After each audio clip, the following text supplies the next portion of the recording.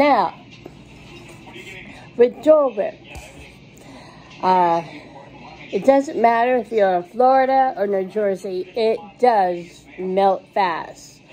Um, I was told that by the lady at the place that it's the same recipe.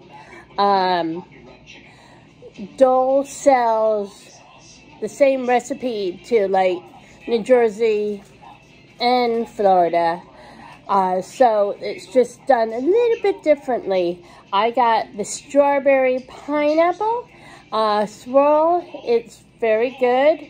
Um, I I think when I was in Disneyland, I think I had the I had the lime, and I think I had the original uh, swirl. I uh, I do like the uh, the swirl a little bit better.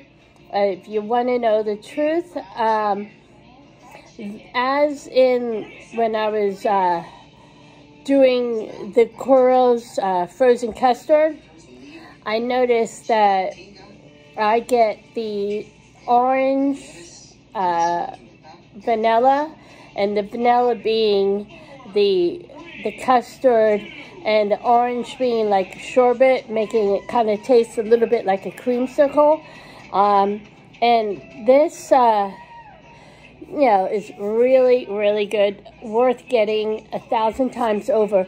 This place had um, toppings, and she didn't ask me if I went in any toppings, but I would have gotten coconut if she asked me. Uh, I didn't feel like saying, you know, get me coconut because I wanted it to be the regular uh, taste test thing. And um, the one thing I didn't quite understand was why there was only one size. Uh, I don't know why you can't have a small and a large.